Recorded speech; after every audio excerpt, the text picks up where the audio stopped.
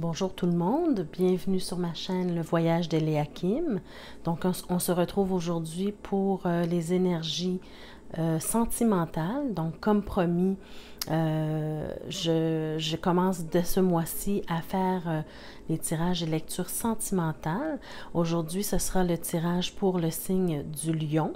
Donc bienvenue les lions, bienvenue tous les autres signes également. Alors, euh, je vous euh, rappelle que ces tirages sont des tirages d'ordre général qu'il se peut que ça ne concorde pas avec ce que vous vivez présentement. Alors, je vous suggère d'aller voir votre signe ascendant et votre signe lunaire. Euh, comme, à l'habitude. Et si jamais vous, euh, voyez que, que ça ne résonne pas totalement avec vous, bien vous pouvez me rejoindre euh, à l'adresse qui apparaît à la barre d'infos, donc le voyage d'Eleakim à commercialgmail.com pour avoir votre tirage personnalisé. Ça me fera plaisir de le faire. Maintenant, si vous êtes nouveau sur ma chaîne, peut-être que vous n'avez pas vu les, euh, les, vidéos précédentes pour les énergies du mois. Alors uniquement pour le mois de décembre, j'offre une promotion, c'est-à-dire que euh, toutes les personnes qui me feront la demande d'un tirage personnalisé à deux questions, vous, pourrez l'obtenir euh, au tarif d'une question. Et pour toutes les personnes qui me demanderont un tirage personnalisé à trois questions, vous pourrez l'obtenir au tarif de deux questions. Donc, c'est un cadeau des fêtes que je vous offre simplement pour le mois de décembre. Alors, profitez-en ou faites-en profiter quelqu'un d'autre, un membre de votre famille ou un ami, euh, peut-être à qui ça pourrait faire plaisir de recevoir euh, ce genre de, cadeau. Alors euh, voilà pour, pour, la promotion. Si vous avez remarqué, j'ai mis une petite clé ici. Et ça, mes chers amis, c'est simplement pour vous rappeler que tout au long des tirages que je fais pour vous, c'est pour vous rappeler que vous avez la clé de votre destinée. Euh, les tirages que je fais ici sont des tirages de probabilité. Alors, je peux vous dire ce que je vois dans les cartes, ce que les cartes veulent vous donner comme message. Euh, et bien que certains euh, tirages peuvent paraître à première vue négatifs, il y a toujours du positif à retirer de, de ces tirages-là, de ces messages en fait. Et la clé est pour vous rappeler que peu importe ce qui est dit ici, vous avez le droit de décider ce que vous faites de votre vie. Vous avez la clé de votre bonheur, de votre destinée et vous avez le libre arbitre également. D'accord? Donc, euh, ceci dit, on va commencer tout de suite avec le tirage pour le signe du lion. Donc, mes chers lions, ce que je vois pour vous euh, pour ce mois-ci, c'est que vous avez euh, peut-être euh, le sentiment que dans votre relation actuelle, vous ne, tous les deux, vous n'investissez pas euh, de façon égale dans la relation. Euh, vous n'êtes pas certaine de la réussite de cette relation-là présentement. D'accord? vous avez investi beaucoup de votre part, mais il y a comme un déséquilibre dans votre relation vous avez envie d'explorer de nouvelles possibilités parce que votre, dans votre relation, il manque de passion. Hein. On le voit ici avec euh, la reine euh, de bâton euh, inversée. Donc, il manque un peu de passion dans votre relation et c'est ça le, le, le problème. En partie, c'est ça le problème que vous vivez présentement. Le problème aussi, c'est que vous avez travailler très dur, hein, très fort pour, que, pour maintenir euh, cette relation-là vivante. Et euh, vous pouvez être fier de vos efforts. Vous savez ce que vous avez donné, ce que vous avez investi. Mais comme je le disais tout à l'heure, c'est peut-être euh, un travail qui a été fait à sens unique. Et pour vous, vous voulez, vous avez envie d'avoir une relation pleine, une relation de bonheur, une relation où les deux euh, travaillent équitablement pour, euh, pour avoir une stabilité euh, dans votre vie. Et vous avez, par le passé, dans cette relation-là, vécu plusieurs difficultés. Hein. Vous avez traversé plusieurs difficultés Et vous avez tenté de choisir vos batailles afin de, de sauver la relation à plusieurs reprises. Donc, c'est un effort que, vous avez fait euh, pour garder cette relation-là vivante. Hein. Probablement que vous... On le voit ici avec euh, le valet de bâton, que vous êtes quelqu'un euh, d'impulsif, quelqu'un de créatif. Donc, probablement que vous êtes quelqu'un qui essayez de mettre toujours du piquant dans la relation. Vous faites des efforts pour que tout se passe bien dans votre relation. Et malgré ça, vous sentez un déséquilibre. Et vous avez envie pour vos efforts, d'être reconnu à votre juste valeur, d'être apprécié pour, euh, à votre juste valeur. Hein. Donc, euh, dans le futur, je vois peut-être que vous allez être fatigué de cette situation-là, fatigué de, de, de, toujours donner et de ne pas recevoir ce que vous méritez. Euh, donc, cette, cette situation-là va vous causer du stress également. Puis peut-être des disputes, hein? on le voit ici avec le set d'épée, des disputes, des discordes. Peut-être aussi il y aura une forme de trahison dans cette relation-là. Hein? Euh, est-ce que ça va venir de votre partenaire? Ou est-ce que ça va venir de vous? On ne le sait pas parce que euh, si c'est de votre partenaire, bien peut-être que c'est ça qui va faire que vous allez être fatigué de cette euh, relation, d'avoir mis autant d'efforts. Et si ça vient de vous, cette trahison, c'est peut-être la cause. Euh, la, cause de ça, de votre trahison, c'est peut-être justement parce que vous en avez assez de, de cette relation et vous, avez, euh, vous allez peut-être euh, commettre un geste que vous allez peut-être regretter.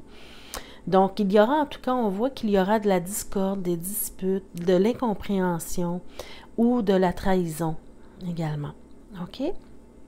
Donc, faites attention. Euh, prenez l'habitude de discuter, de, communiquer avec l'autre. Hein. S'il y a des choses qui ne font plus votre affaire, parlez-en, discutez-en. Et euh, si vous voyez que rien ne change, bien, vous serez à même. Au moins, vous aurez, vous aurez tout donné, vous aurez fait votre possible pour que la situation s'arrange avant de prendre des décisions. D'accord? On voit euh, aussi que vous êtes inquiet de la tournure des événements dans votre, relation. Euh, vous allez peut-être également vivre euh, une crise émotionnelle, d'accord? Parce que, comme je vous ai dit, vous avez tellement investi dans cette relation-là que ça va, ça va vous toucher le fait de, que, que ça n'avance pas dans le sens que vous voudriez ou que vous avez toujours espéré. Donc, il y a une certaine crise euh, qui va se passer en vous, une crise émotionnelle. Et vous allez être inquiet de, la tournure des événements. L'autre personne, votre partenaire, vous voit, euh, trouve que vous êtes trop émotif euh, ou émotive. Euh, il, a de la, difficulté, il ou elle a de la difficulté à gérer vos émotions dans cette situation-là. Peut-être que euh, l'autre personne ne voit pas le problème de la même façon que vous. Alors, il a de la difficulté à gérer vos émotions face à cette situation-là. Euh, on voit que vos craintes, hein, c'est que vous avez peur de, ne pas recevoir la réciprocité on le voit ici. Voyez-vous, les deux ils sont, dans la même, euh, sont égales. Vous avez, vous manquez un manque d'équilibre. Il, y a quelque chose qui manque ici dans votre relation, euh, l'investissement. Et ici, bien, vous n'avez pas euh, le sentiment de recevoir autant que vous donnez. D'accord? ou, autant que vous le méritez. Vous ne recevez pas autant que vous le méritez. Parce que vous donnez toute votre énergie à cette relation-là. Hein. Ici, on le voit avec l'as de bâton. Vous donnez tout ce que vous avez pour construire quelque chose de bien. Donc, ici, ce que vous donnez par rapport à ce que vous recevez, ce n'est pas égal et vous le sentez et ça vous atteint. Euh, si vous décidez de rester dans, une, dans cette situation-là telle qu'elle, ben, vous devez, euh, vous allez devoir faire preuve de beaucoup de sagesse hein, à l'avenir. On, a l'impératrice, euh, pas l'impératrice, on a la, papesse ici qui vous montre que vous allez devoir faire preuve de beaucoup de sagesse pour supporter euh, de vivre dans une relation comme, comme celle-là.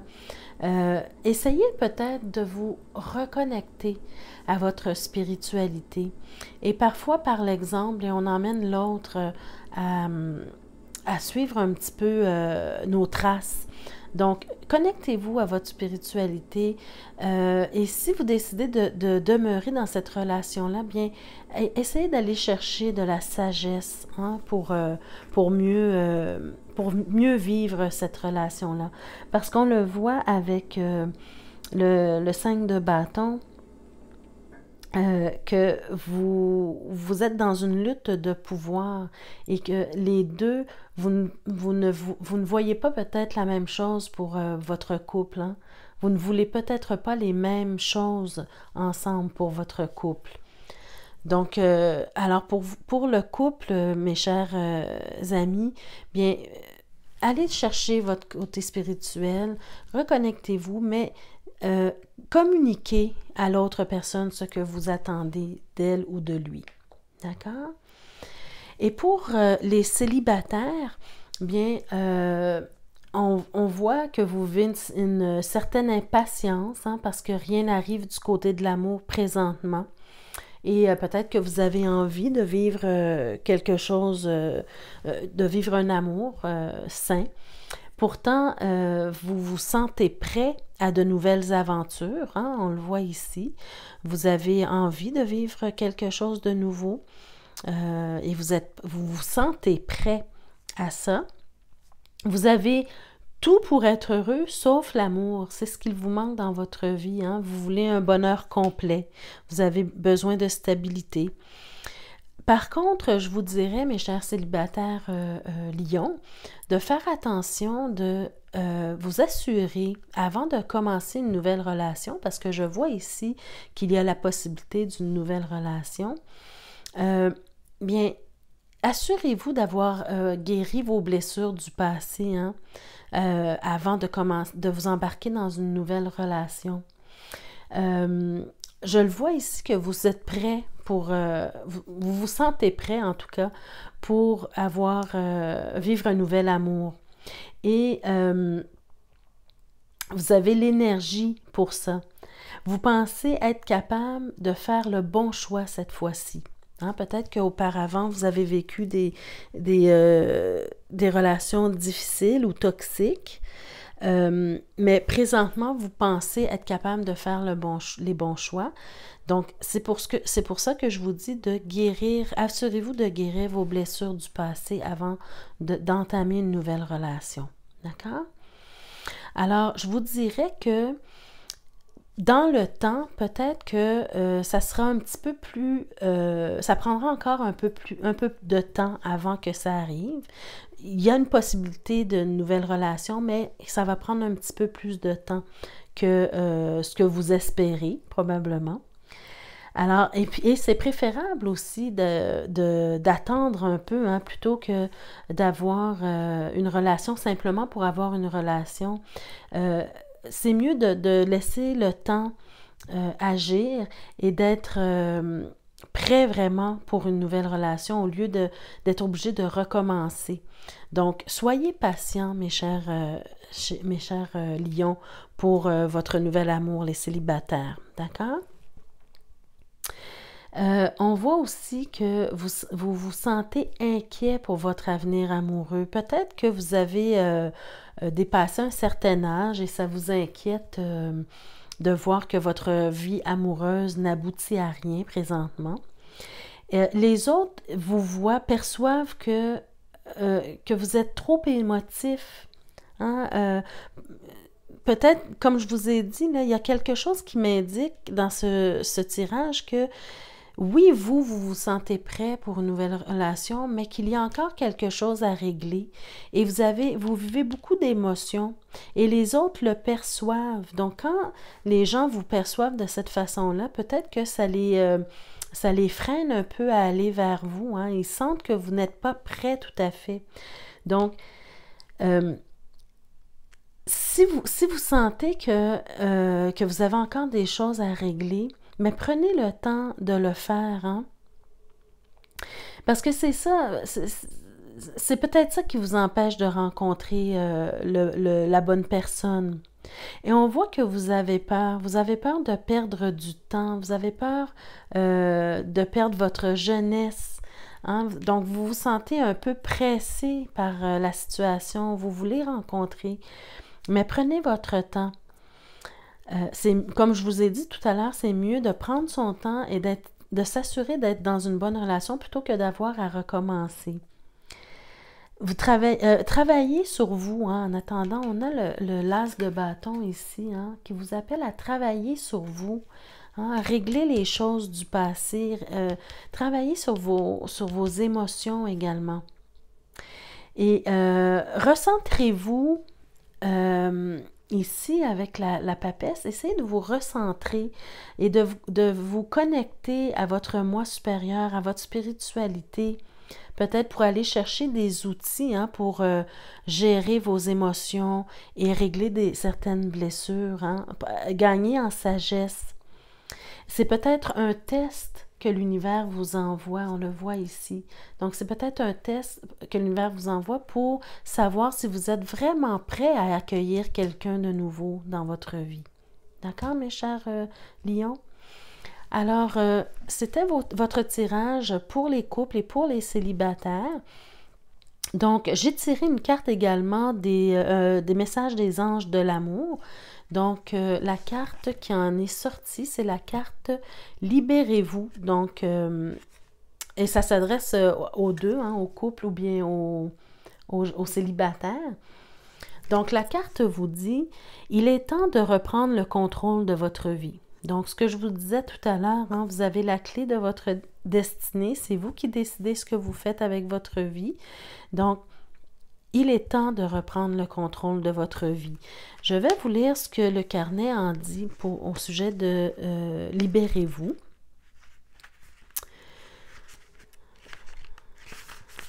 Et ça s'adresse autant aux couples qu'aux célibataires. Hein. Ici, les célibataires, si vous avez des choses à régler, mais il faut vous libérer de ces blessures. Alors, on vous dit, comme la licorne sur l'illustration de cette carte, vous vous sentez prise au piège. Peut-être avez-vous laissé le contrôle à quelqu'un d'autre, ou peut-être vous sentez-vous écrasé dans votre carrière ou votre relation. Voyez-vous ici, quand on vous dit que quand pour les couples, quand je vous disais que vous sentez que vous n'avez pas la même la réciprocité, alors vous vous sentez peut-être écrasé. En vous reliant à vous-même, avec la papesse ici, euh, vous saurez dans quel domaine? Cette carte s'applique à vous. Vous pouvez également vous demander de quelle façon suis-je limité ou opprimé? Faites confiance aux réponses que vous recevrez.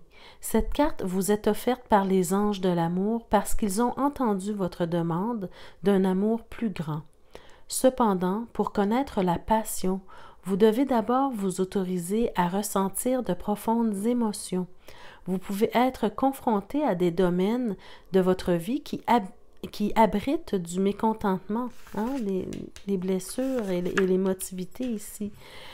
Euh, qui abrite du mécontentement. En reconnaissant ces zones, vous éclairez la situation et laissez la place aux anges pour qu'ils vous aident. En vous engageant à reprendre le contrôle de votre vie, vos sentiments vont dégeler naturellement et se réveiller.